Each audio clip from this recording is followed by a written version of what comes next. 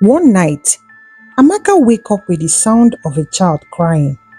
She got out of bed and walked towards the sound, thinking it was her brother. But Chidi was fast asleep. Confused and scared, she returned to her bed.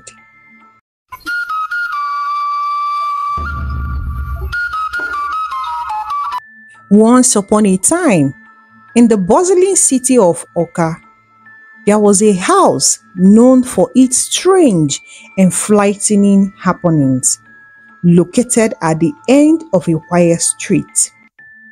Every night, the tenant could hear the faint voice of a little child echoing from within, crying out and saying different things. The sound was chilling and sent shivers down anyone who passed by. The tenants couldn't take it anymore and they moved out one by one because of the strange noises echoed from within the walls. The voice of a little child crying and whispering strange things. They spoke of seeing shadows moving on their own, furniture shifting positions, an overwhelming sense of dread that hung in the air. Even the neighbors were not left out. They were also disturbed by the voices and the strange things happening, especially at night. For years, the house remained vacant, its secrets hidden behind closed doors. Tenants came and went, each fleeing in terror after a night filled with the sound of a child's voice, pleading for help from the darkness within. Rumors spread. Some claimed the house was cursed, haunted by the spirit of those who had met tragic end within its wall, while others said is a restless soul trapped between the realms of the living and of the dead forever searching for peace. Mr. Ade, the owner of the house, had been away for a long time. When he returned and heard the stories, he decided to take action. He hired workers to renovate the house, hoping to ease any sign of its haunted past. He also invited a group of pastors to pray over the house confident that their blessing would cleanse it of any wrangling spirit. After the renovations and prayer, Mr. Ade assured everyone that the house was now safe. He spread the word that tenants could move in without fear. A month later, excitement filled the air as the Okafor family moved into their new home. Mrs. Okafor, a cheerful woman with a warm smile, bruised herself with unpacking boxes and arranging furniture, while Mr. Okafor, a loving father, inspected the house for any signs of despair. Their children, Chidi and Amaka, ran through the empty rooms, giggling with delight as they claimed their new bedrooms. Despite the ringing sense of unease that hung, the Okafor family determined to make this house their own. As the sun dripped below the horizon, casting long shadows across the neighborhood, the Okafor family gathered in the cozy living room for their first night in their new home. Mrs. Okafor lit a few candles, casting a warm glow over the room, while Mr. Okafor lit the fire in the fireplace, banishing the chill from the air. As they settled in for the night, the whispers began again.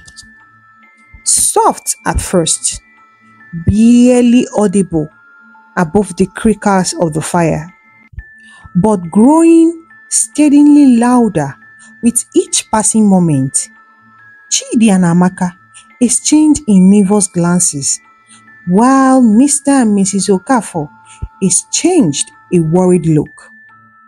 Little did they know their peaceful night would soon descend into chaos. The voice grew louder, filling the room with their desperate cries for help. And so began the Okafor's family descend into the darkness that looked within the house with all the whispering. They start to get worse. A few weeks after moving in, more strange things began to happen to them. One night, Amaka woke up to the sound of a child crying. She got out of bed and walked towards the sound, thinking it was her brother. But Chidi was fast asleep, confused and scared. She returned to her bed and tried to ignore the frightening sound that evening. The next day, Mrs. Okafor found the chairs in the living room stacked on top of each other. She was puzzled and she asked if anyone had done it as a prank. But everyone denied it. Mr. Okafor's successful business started facing unexpected problems. Deals that were once certain began to fail and clients started cancelling their contracts. It seems like a strain of bad luck had suddenly hit them. Mrs. Okafor's small catering business also suffered. Others were mixed up, mysteriously cancelled, and their financial stability was at risk. They began to wonder about how they would manage their expenses. The strange event in the house intensified. The family heard footsteps in the hallway at night. Doors cracked open and closed on their own, and cold drafts swept through the room, even when the windows were shut. One night, Mr. Okafor saw the figure of a small child standing at the foot of his bed. He blinked and the figure vanished, leaving him shaking. The children started to have nightmares waking up in the middle of the night, screaming about a crying child. One night, as the family sat down to take their dinner, a horror scream pierced the silence, causing them all to jump in fright. Rushing to investigate, they found nothing at miss. No intruder, no sign of danger but the sense of dread that hung in the air remained, casting a pall over one's cheerful home. As weeks went by, the hunting became more intense. Mr. Okafor began to hear the whispers in the dead of night, urging him to do unspeakable things. Mrs. Okafor woke up each morning to find strange bruises on her body with no memory of how they got there. While Chidi and Amaka, once full of laughter and joy, grew quiet and withdrawn. Their young minds unable to comprehend the horror that surround them. Their Desperate for answers and to understand what was going on, Mrs. Okafor spoke to their neighbors and learned about the house's dark history. She discovered that the house had always been plagued by supernatural occurrences, and the previous tenants had all experienced similar events. Determined to find a solution, the family turned to the only person they know the help of a local spiritualist, Ogechi.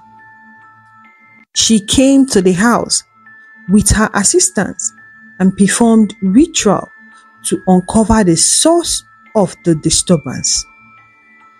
During the ritual, Ogechi the spiritualist revealed that the house was haunted by the spirit of a young girl named Adora, who had died tragically many years ago. Adora's spirit was restless and trapped in the house crying for help. Ogechi, the spiritualist, explained that the renovation and prayer that the landlord did had not addressed the root of the problem. Adora's spirit needed to be set free, and her story needed to be heard. The Okafors learned that Adora had been a victim of a terrible accident in the house. She has fallen into a dipping well in the backyard and drowned. Her family, overcome with grief, unable to bear living there, had abandoned the house, leaving Adora's spirit trapped. Ogechi, the spiritualist, performed a final ritual to free Adora's spirit. She asked the Okafors to offer a heartfelt prayer and promise to remember Adora. The family gathered in the backyard, holding hands and pray for Adora's peace. Despite the ritual, the Okafors family decided to move. The house held too many painful memories and strange happenings. As soon as they left, their businesses began to recover and their lives returned back to normal. One day, a young and ambitious journalist, Norma, decided to investigate the mystery house. She had heard stories but didn't believe them. She was determined to uncover the truth behind the strange occurrences. Norma started by interviewing a neighbor, a man who revealed little but hinted at a dark family secret. She then spoke to the Okafor family, who shared their terrifying experience. Fearless and determined, Norma decided to spend a night in the house to uncover its secret. As she entered the house, she felt a strange chill. She set up her recording equipment and waited. At first, it was silent, but then she heard the faint cry of a child. Mama, Papa, please help me. Norma's heart raced as she realized she was not alone in the house. She tried to investigate further, but strange things began to happen. Doors slammed shut, and she heard footsteps. She knew she had to get out. But as she turned to leave, she saw a little child standing in front of her, its eyes black as coal and its skin pure as the moon. Norma tried to speak, but her voice was frozen in her throat. The child began to whisper, Find my mommy. Norma's heart raced as she tried to make sense of the child's word. Suddenly, the child vanished, and Norma was left standing alone in the darkness. She knew she had to get out of the house but as she turned to leave, she heard footsteps behind her. She ran, but the footstep kept pace with hers. As she reaches the door front, it slammed shut, trapping her inside. Norma was paralyzed with fear. The footstep stopped, and a frightened Norma knew she had to think fast or become the next house victim She remembers the, the neighbor's hint about a dark family secret and decided to search the house for clue. She stumbled upon a hidden room, locked away behind a bookshelf. Inside, she found a diary belonging to a woman. As she flicked through the pages, a name caught her eyes Adora. The woman had written about her daughter, Adora, who had died in the house under mysterious circumstances. Norma realized that the child she had seen was Adora's ghost, trapped between the world searching for her mother. Norma's heart raced as she read the diary entries detailing the tragic event leading up to Adora's death. The woman has written about her husband's obsession with their daughter, his strange behavior, and the strange feeling that something was off in the house. As Norma read on, she heard a faint whispering in her ear. Don't trust him. Don't trust him. She turned around, but there was no one there. The whisper seems to come from all round her, echoing off the wall. Suddenly, the lights flickered, and Norma was thrown into darkness. She heard footsteps, heavy and deliberate, coming from the floor above. A man's voice boomed down. You shouldn't have come here. You shouldn't have meddled. Norma knew she had to act fast. She started looking for her phone in her bag, but the phone was dead. The whispering grew louder, more urgent. Get out, get out while you can. Norma rushed through the door, but it was stuck, as if something was holding it shut. She was trapped. The footsteps stopped outside the room. You will never leave this house alive, just like Adora. Suddenly, the lights came back to life, and Norma saw the landlord standing in front of her. Norma's feet began to tremble, and she was so frightened. She was so afraid. Standing before her is the landlord of the house, and the diary was written by the landlord's late wife. She remembered the diary entries and the hint about the landlord's obsession with his daughter. With courage, Norma confronted the man. Why did you do this to Adora, your own daughter? What is going on here?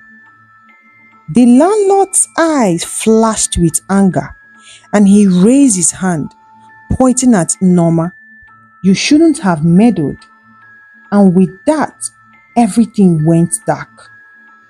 Norma's eyes scanned through the room, searching for any clue. That's when she saw a small fashioned key hidden in the shadow.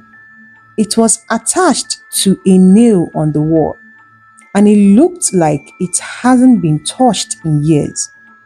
With hope, Norma grabbed the key and approached the door. She inserted the key inside the lock and turned it. The door cracked open and Norma stumbled out into the back of the house. But as she looked back, she saw the old man standing in the doorway, his eyes blazing with anger. The house at the end of the quiet street remained vacant, a silent reminder of its haunted past. And to this day, no one have dared to move in or out of that house. The faint voice of a little child can still be heard whispering in the wind. If you want to rent a house, please kindly ask questions before you pay. So you won't attract negativity to yourself. Thank you for watching the story. Please share with us which country you are watching from. Like the story and don't forget to subscribe to the channel and turn on the notification bell for more stories like this. Goodbye.